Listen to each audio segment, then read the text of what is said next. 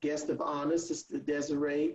I want to tell you what Sister don't mind y'all knowing. Let me let's get into the Sister's business for a minute. she, she, Sister says she don't mind y'all knowing that she is Sister Desiré Ann Marie Findlay, and that she is a member of the congregation of the Sisters of Saint Felix.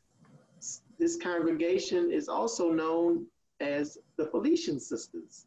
They are a Franciscan community, and if we asked the sister about uh, her private life before she entered the convent, she doesn't mind you knowing that she was Desiré, who was a, uh, a dancer. She um, loved sports and basketball. She attended the University of New Mexico. And uh, during that time, she even went on a 100 mile pilgrimage by foot. So she's a sister who loves the Lord and all of creation. Because if you can walk 100 miles and do that pilgrimage by foot, and that's where she first met the Felician sisters. Um, after completing, completing her bachelor's degree in secondary education, uh, Sister chose to take religious life and her calling uh, into her complete self, and she began her formation as a Felician sister. And after her formation was complete, she moved to Southern California, where she taught theology, Spanish, and dance.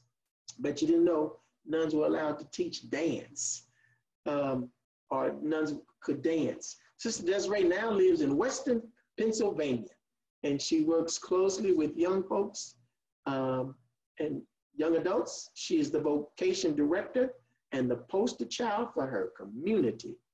Sister has done much traveling uh, from places to Canada, Haiti, Panama, Italy, and Poland for Youth Day.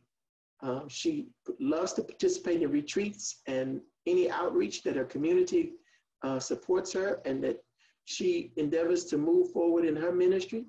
She has also had the opportunity to publish some written material, so she's a published author. She's a celebrity by anybody definition because she's been on the Tamron Hall show. Now, don't y'all make fun of me today in my t-shirt and my uh, background. I'm not Tamron Hall, uh, but we have a celebrity among us who was recorded um, by American Magazine with an interview that they did with her. She is blessed to be a member of her community with final vows, which is the most precious gift to us as religious. Vows come first and foremost in our religious life. And she looks forward to her continued adventures for God's sake and God's children. That's Sister Desiré's business that she doesn't mind y'all knowing. Now, sister, let's get into some specifics and some details about your business. Tell us about the business of the Felician Sisters. Sure. Well, thank you for that introduction. You just like brought my bio to life. I, I wish everyone was able to do that with it. so thank you. Um, but yes, so the Felician Sisters started in Poland and um, sort of began with a woman who was taking care of widows and orphans, and she didn't really intend to start a religious community. But when other women saw what she was doing, they started to join her and her spiritual director, who was a Capuchin friar, it's a type of Franciscan. Um, he said, You know, why don't you make this official and become a community? And we got our name because the women were visiting every morning they'd take the kids and they would visit the statue of saint felix because he was the, he was the first capuchin saint so they would go to visit the statue and the people of the town would see them and they started calling them the sisters of saint felix so that's our official title and then we just kind of shorten it to felician sisters but that's how we got started in poland and then as polish immigrants came to the united states then a lot of priests who were also from Poland were inviting the sisters here to say, you know, we don't have a lot of people who speak Polish here. We need some people to minister to the immigrant population. And so invited our sisters, and five of them came to a little town in Wisconsin. And from there, thousands joined us, and now we're about uh, almost 500 in the United States and a little over a thousand worldwide at the moment. So, um, but uh, while we started out in education, specifically teaching the immigrant children from Poland, then it went into uh, nursing. So we were both in hospitals and in education. And then it just kind of blossomed. And we said, you know, God can call a sister anywhere. And so our sisters do all sorts of things. We have sisters who are hospital chaplains, um, sisters who are social workers, sisters who start food pantries and run those food pantries. So we kind of do whatever the Lord asks every person. So recognizing each individual has their own calling within the community as well. Now, sister, he take us to that point where you on this pilgrimage, walking these hundred miles. You're an athletic college student. You're a dancer. You you are not what religious life that most of us see and understand. And here you are on this road, and you encounter a Felician sister, and you like, okay, I need to know more. What what what drew you to this need to know more about a Felician sister while you an athlete and a dancer and then in college? Great question. So um, I grew up going to public school, was never taught by sisters, never really saw any sisters or nuns. But when I would go to catechism classes, you know, we would read about the saints, and a lot of them were sisters and nuns. And I think it was through that, even just as a child, I thought, that sounds really amazing. So many of them are saints. They just have to be doing something really good. And it, it intrigued me, but it never went far beyond, I think that's cool, you know. And then uh, maybe in high school, yeah, high school, I went on a youth group trip and we were putting up the stations of the cross in a yard for a, a group of cloistered sisters. And only one nun was allowed to talk to our group. She was the extern, so you know she greeted visitors and spoke with us. And I just remember feeling like starstruck. I was like, "Oh my gosh, it's a nun! It's a real one!" And I, I just couldn't handle it. And uh, she spoke with me and my mom for a little bit, but I, I hardly said anything. Mostly my mom spoke to her. And I saw her a couple years later at the shoe store where I worked, and she remembered me and remembered talking to my mom, remembered talking about me going to make my confirmation. And I thought, she has to have a deep, deep relationship with God to be able to remember somebody who hardly spoke two words to her, you know. And that was the first moment that I really thought, you know, religious life has something, something deeper than what I've experienced. And maybe that's what I want. So that was maybe like a while I was in college, which is when I went on the pilgrimage that's when I met these two Felician sisters who were complete opposites. So one was this Southern Californian, full of life, singing songs, just loud, playing her guitar all the time. And the other one was this very gentle introvert from Texas who could tell me all about, you know, the plants on the side of the road because she was just so knowledgeable. And I thought, I really like that in this community, you don't have to be like anybody else. You can be yourself. And that was when I said, I need to know more. Like what what are they doing? You know, because I see their joy and I see their unique humanness and I want I want to be a part of that. Uh, so then I said, hey, can I visit? And I'm pretty sure at that moment they're like, we got one. Because they said, definitely. And then I just started spending more time with them. Now, sister, considering the fact that you said y'all originated in Poland and you, you have mm-hmm. American-based uh, convents of women, what's the age range that these Felician sisters will entertain a potential vocation? Well, as long as the woman is at least 18 years of age. So even though we will take women at 18, we do recommend that if a woman's just coming out of high school, she goes either to college for a couple years or maybe works for a couple years just so she can grow in her independence um, and you know be able to grow in her responsibilities. It's not necessarily like we don't take women at 18 it's just we want to you know to get a little life experience. Um, and then we don't really have an age limit but we just look at like the life experiences of a woman. Let's say she's a little older um, what she's been a part of why her commitments maybe didn't last or why she never made any other commitments or you know things like that. So on an individual basis look at her health and and those sort of things. Sister i heard Tamron Hall say it's not father gerard. I don't want to be too personal but Tamron Hall on that tv interview got Mhm. really personal with you all up in your business and you told Tamron Hall that you was engaged at some point during your formation. Did i understand that correctly I was not engaged, but I was dating a guy just before, pretty much just before I entered. And I did consider him as like, if I was going to get married, I was pretty much wanting to follow that path with this this guy in particular. Um, but while I was so I was spending time with the sisters while I was dating him. it's kind of like dating two different, but um, he knew and he knew I was visiting with the sisters, but I don't think he ever thought, oh yeah, my girlfriend's going to enter the convent. You know, he was just like, oh, she was spending time with some nuns. That's nice. Uh, but the more I spent time with the sisters, the more it felt like I was at peace. And I realized that I had been like, there are a lot of flags with this guy that it just, it wasn't helping me grow. It wasn't helping him grow our relationship. And I just thought, maybe this isn't for me. And I, I dated other guys. I dated a really good guy you know, just while I was in college. But it just never seemed, it was like a shoe that I was trying to make fit. You know, I really liked it and I wanted to make it fit. But then when I started spending time with the sisters, it was like a shoe I really liked and it just seemed to fit. Like their way of living and their way of being, it just spoke to me more than like this possible relationship spoke to me. Now, sister, you're talking about relationships.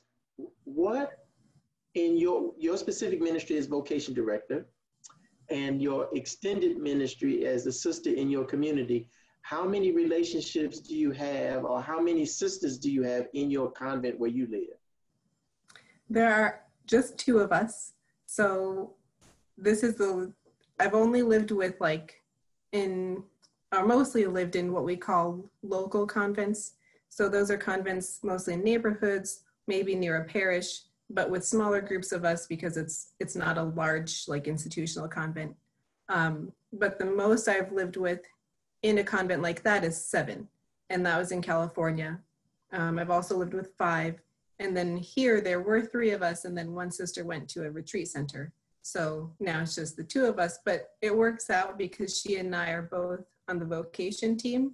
So I do the initial pieces, like when somebody wants to know more about us, when somebody wants somebody to come and speak to their youth group or their their um, theology classes.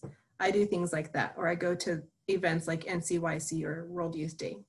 And then she does the piece when someone is more serious and wants to maybe start specifically discerning with us, maybe spending time with us and praying with us, then she kind of takes them from there. So it works out because we can kind of like talk about their journey together and, and things like that. And we get along really well. We both, her mom was born in Trinidad and Tobago. My dad was born in Trinidad and Tobago. So we pretend like we're distant relatives. Um, yeah, we have a good time. So now I love the video that you posted of a lot the a day in the life of where you and the sister uh, y'all shared your uh, divine office, the liturgy, the hours with us. Um, tell us more about your prayer life with two women in a convent who have to keep the Felician uh, and Franciscan way of life. Talk to us about how that looks and how that prayer life comes to, to pass. Yeah, so it pretty much looks like a prayer life that all Felicians have, no matter if they're living with 60 or two. So we pray together twice a day. So we start our day together in prayer with morning prayer. And then, of course, before COVID, we would go out for Mass. And um, that we, we would usually do that together. So morning prayers and then Mass together afterwards. And then because most sisters have different ministries, then from there we go out to where we need to be. Um, so I'll maybe go to the office or I'll go speak with a school or, you know, something like that. And then the sister I live with is a spiritual director. So maybe she would be meeting with directees or she'd be working on a retreat she's going to lead.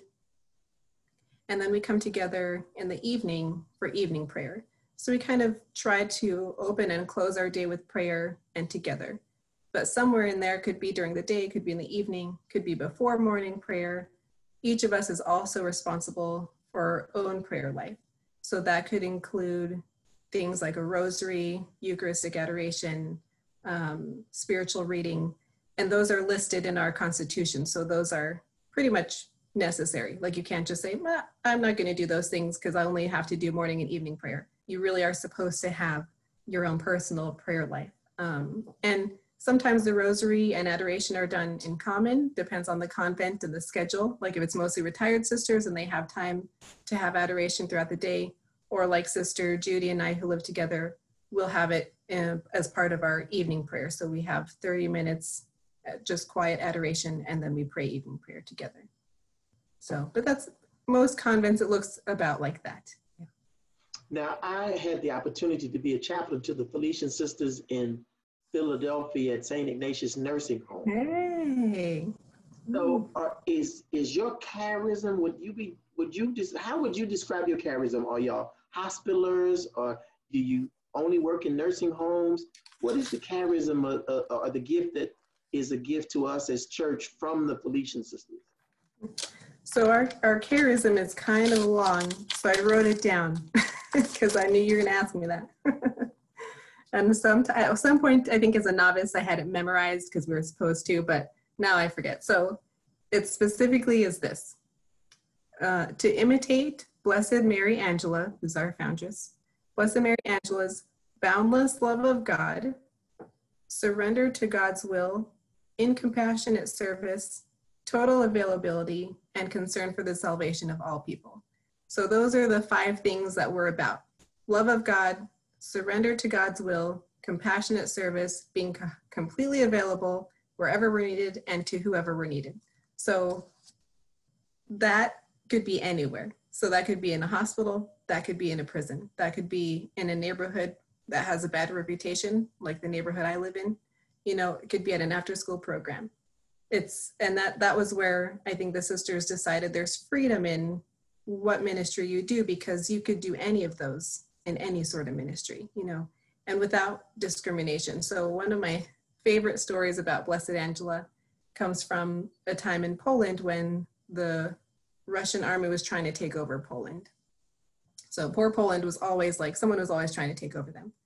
So um, the Russian and Polish soldiers, when they would end up wounded and, you know, on the battlefield, Blessed Angela told the sisters, when you go out and care for the wounded, you care for everybody. I don't want you just picking up the Polish soldiers and taking care of only the Polish. You're going to take care of everybody. And because of that, when so religious orders were suppressed for a while underneath Russian rule, and then when they were allowed to come back into existence, ours was not because of that because we were considered revolutionaries for taking care of the enemy. And so they said, no, we're not, we're not letting the Felicians come back because they were taking care of Russian soldiers. So I love it because she was so concerned for everybody that she risked, you know, not even being able to be, but eventually, of course, they were allowed to come back and the people were very happy. All right, thank you so much. If, if somebody like St. Benedict the African wanted to develop a relationship with a Felician sister or two Felician sisters, and and we got COVID nineteen going on. We got distance. You have a shortage of women in your community. I'm sure.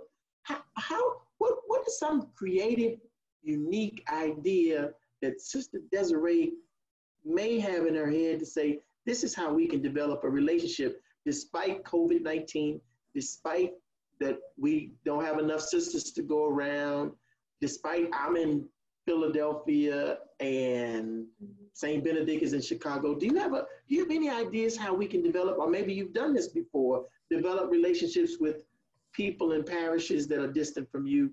Um, what do you, what, what's your thoughts, sister? Yeah, so I've never done that before because I just would travel to wherever I was being invited. Um, so now, because there's going to be that restriction, and I'm sure even when things open up, people are going to be really cautious. You know, they're not going to want to bring somebody from across the country to speak to a hundred people. So um, an, a thought that I have because we have what's called an associate program, which a lot of religious communities do, or maybe it's called affiliates, something where anybody, lay people, men, women, single, married, can sort of partner with us either in ministry, but specifically in spirituality, um, in that Franciscan spirituality and in the charism of Blessed Angela, you know, being available and being, um, you know, surrendering to God's will and, and loving God and others. So my idea, like, and I don't even know how, because I'm not in charge of the associate program or anything like that. But I think it would be really neat to have like an online associate program where associates from all over the country could get together and have not necessarily classes online, but delve into that Franciscan spirituality and talk about Blessed Angela and, and things that she went through and how we, you know, maybe go through things that are similar or talk about, you know, the different saints related with our community, St. Francis, St. Clare, St. Felix. Um, I think that would be really, really nice.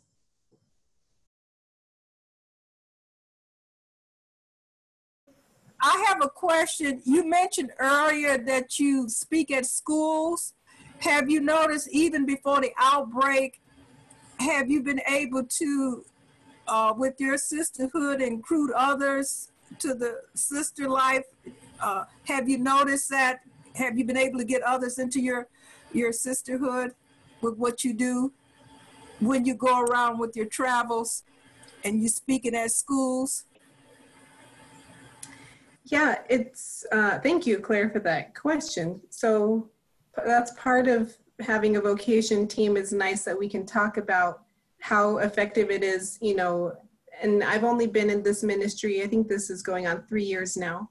So to look at, you know, how many women then contact us after I go and speak at those schools or how many contact us after I go to an event like NCYC, you know, um, and then to also think about the fact that while we would like women to join us, we also want to simply encourage women in their own journeys, whatever it is. So recently, um, for NC, no, it wasn't NCYC. It was a different. It was a conference similar to that, but for young adults. And typically, only sisters go, and we are the ones who host a table. But this time, the sister that normally would have gone with me, she couldn't. And so I said, well, because this is normally how we do it, let's try something else. And so instead, I brought two young women to host with me. And they were able to go to the conferences and things when we had breaks. And they just kept saying, Thank you so much, sister, for this opportunity. I learned so much. And just for them to grow in their own Catholic faith, really, that's what we want, whether they end up joining us or not. Um, or maybe they'll tell other women about us, and those women will maybe join us. But, you know, to focus mostly on helping people in their spirituality, whether they become religious or not. That's that's what we're here for. But we do have you know, nice a steady flow of women coming at least one a year, which is pretty good when you know a lot of congregations haven't had anybody for several years, um, and they're younger. So one of the our postulants right now is younger than me. She's in her 20s, and then we have a woman who's a candidate. Um, she's just in her sophomore year of college, so looking at joining us when she graduates. So it's, you know, it's nice to see that we have that steady flow, but it's also nice to, to not always focus on that too. And yeah, thank you. Sister, I'm just curious because you're so young. What was your parents' reaction when you told them that you wanted to become a nun? Mm-hmm. Thank you. It's a great question. So, my mom was very excited because she's like super Catholic. And then my dad was like, mm, Are you sure? You know, is that something you really, is your mom making you do that? He asked me if that was, was her choice. And I said, No, this is really something I want to explore. I feel, I feel called to this. And the more he saw how happy I was and, and he got to meet the sisters and see that they were like a nice, healthy community, um, then he, he was like, okay, I can see, you know, this is a good fit. Um, and but even all along my journey, he said, even if you leave, I'll be proud of you for trying, and if you stay, I'll be proud of you for staying. So he was he was supportive all the way around. And my mom was always like, "Don't leave," but I know she would she wouldn't have disowned me if I left. Sister, what's the oldest that you've heard one of your sisters come into your community? What's the oldest age? Mm, In, in recent times, uh, 52, but that, I don't know. 52. Mhm. Oh, that's young, because I'm, I'm 52, so that's great. All you 52 and, and above, y'all got a place to go. The Felician sisters are taking applications. I had a question. Um, Sure. you talk. I I feel like I saw somewhere you talked about um, your decision to go from wearing a habit to not, and how your natural hair was important to you. Um, and since the communities you live in are pretty small, um, can you talk about whether you had any challenges? I've had friends that have gone through formation in community and um, it's been challenging being one of only a few black people and so can you talk about that a little bit Yes, yeah, that's, I like that question. Thank you. Um, yeah, so I think what helps is that I felt from the beginning, like when I met those two sisters um, who were so opposite, and I noticed, like, you don't have to be like anybody else.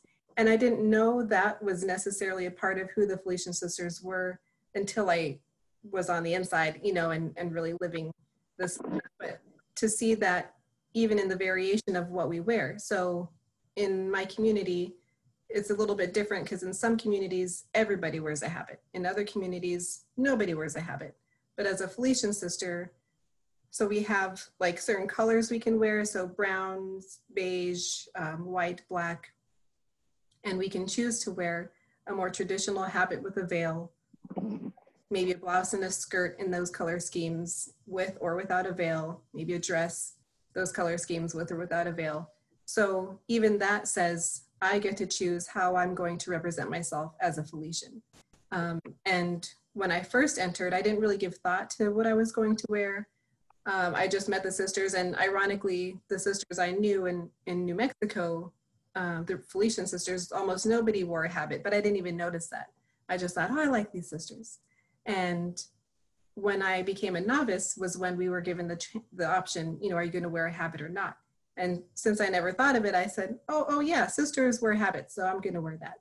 Um, and I wore it for about five years. And then the more I got to um, understand my role as a woman, as a religious, as myself, I was like, okay, this doesn't feel authentic for me. This doesn't feel like how I, I'm called to represent myself or the Felician sisters.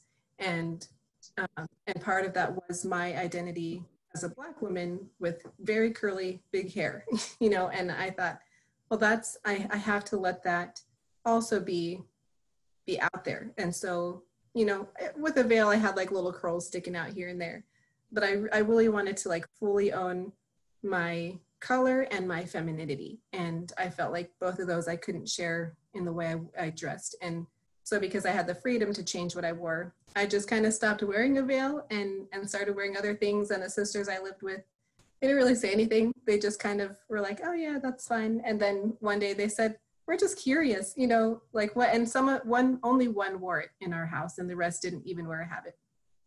So they said, like, "What made you switch over?" And so I shared my thoughts, and they were like, "Yeah, that's great. You know, we're we're glad you took some time to think and pray about it." And and that was it.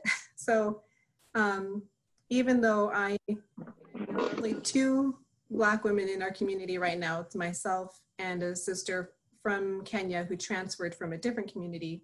So the two of us in the United States are the only black sisters. Um, I don't feel I don't feel singled out. Actually, I feel like my community wants to hear me because they they're like we don't have a lot of sisters who look like you so we we want to know what you think about certain things that we we don't really understand or you know like because i'm on the vocation team you know i help with putting out flyers and different images and things. And um, so they ask for my opinion on those things and i have lots of opinions.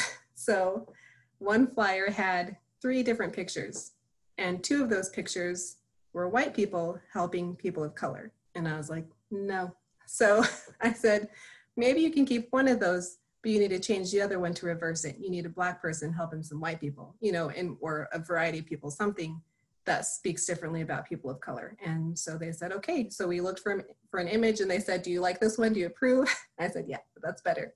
Um, you know, so they, they look for my viewpoint because they know that they don't see with the same lens. So I actually feel like it um, gives me an opportunity to use my voice more instead of um, less because I am kind of a rarity in my religious community.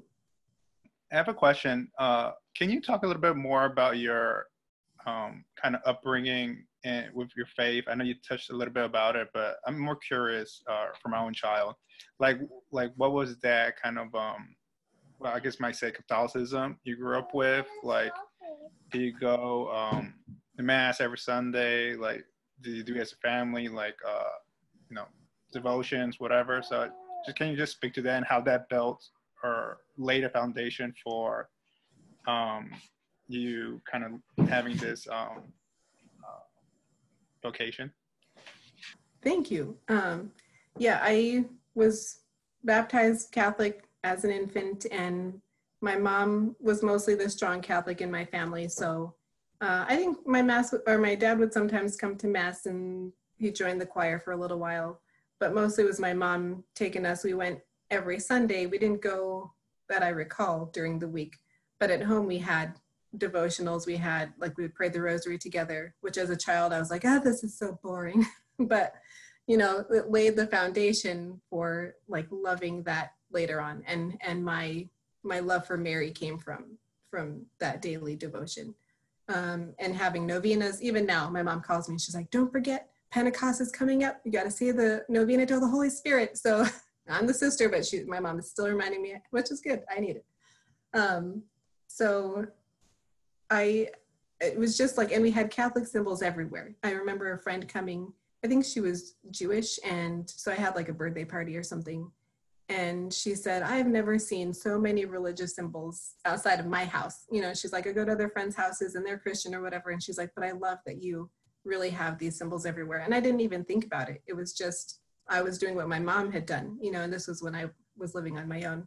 I had all these Catholic symbols everywhere. So it was it was at home that it was really instilled and then going to catechism on a regular basis and and having it reinforced there um, you know and and being able to be involved as a high school student in my youth group and going for service projects because that also showed me how much i loved serving others and just and being and doing for others um, in ways that I didn't know before. And so drawing drawing me into a life of service and not just like a moment or two of it, you know, but really wanting to live that connection. And same with the pilgrimage I went on. I didn't even know it was a religion. Like I didn't know we were praying for vocations. I just thought, oh, it sounds nice. You know, we're going to walk through some nice historic towns and things and some cool churches. And then it ended up the specific intention was to pray for vocations. And I was like, what? So, you know, but to to be plugged into certain things that are part of my Catholic faith. That's what got me here, really, without me always being conscious of that. Okay, sister. Here, here's here's the hard question for you. tell, tell us a challenge. All of this sounds beautiful and fluffy. I only have been in religious life for only 15 years. I've only been a priest for four years, and I've had some challenges that bless me and certainly has made me a better religious. And I hope it makes me a better priest every day. But give us the hard stuff. That's good. That's good. You're right, because not everything's fluffy. but um, I think hmm, one of the hardest things for me has been moving a lot. So I, as a child, we didn't really we just lived in New Mexico most of my life. Um, I was born, actually, I was born in Biloxi, Mississippi, which I discovered is only a few hours from where Thea Bowman was born. And so that makes me very happy. um, but then my mom's family is from New Mexico. So uh, we lived there since I was, I think, in kindergarten. So I really, um, yeah, I really, I grew up there. But I think having that stability and not really moving a lot, like it, it, I wasn't used to then when I entered religious life. And okay, it's been a couple years, you got to go somewhere else. And I was like, what? It it was hard to form relationships in places, and then you got to get up and go. And it just it was that was I think this would have been one of the hardest challenges. Uh, but that was in the beginning of my formation. So they wanted me to have different experiences, get to know different sisters, be a part of different ministries. Um, so now, now that I've made final vows, there's really no need for me to like up and go every few years. But now I feel like I, I want to. so I'm like, okay, I've been here a few years. It's time to go somewhere. Let's go. Let's go. Where am I moving next? You know, but maybe now the challenge is going to be to grow my roots and let myself stay somewhere for a while. I don't know. We'll we'll see. I was just wondering if you could sort of exhort some young people on how should they be approaching vocational discernment, especially if like every door is kind of open. That's a great question. Thank you. Approaching discerning a vocation is is like you said important to have doors open. So to say, you know, I'm open to anything God is asking of me, whether that's married life or single life or religious life. Um, but really to start with like what are the desires of my heart so a lot of women who come and speak with me are like well i really want to get married but i also feel drawn to this life. So to ask yourself what is it about like wh- whether you feel drawn to something or not what is it about that life? So what is it about married life? I ask them is it that you really really want? And so if it's you know to have a family and to to care for people then I ask, is that possible in another vocation? And so if there are things that kind of get interspersed and you can have a sort of a family and care for people as a religious and even as a consecrated single. So, you know, what are the elements specific to a married vocation that you can't find in a religious vocation and, and vice versa, same with single life. Um, but to sit with the, those questions and to again say, why am I drawn there? And, and what is it that God might be inviting me to? And to look at like the breadcrumbs. So, kind of like I was saying with my vocation, where I plugged into different things and I didn't necessarily realize it was leading me to those, like this place. But as I look back, I say, oh, yeah, that's, you know, signing up for that pilgrimage, even though I had no idea it had to do with vocations. That's where I met the sisters, but it was kind of like God leading along the way. And and knowing too how your relationship with God works. Like I, I don't pay attention to things very well. so I'm not detail oriented. So I needed God to be like, here, go on this vocation, but to draw me in because a friend said it would be a nice cultural experience. Like that gets my attention. But then to find out later, it's for vocations and I'm going to meet some sisters. So that was God's part. God was getting me through the relationship piece of, you have a friend who does this um, so where does God usually get you? You know, like where, how does God usually speak to you and paying attention to that? Like, what is it? Is it the relationship piece? Is it the, you know, um, freedom to move around piece? Is it, you know, things like that? I don't know if that helps, but good. I got thumbs up.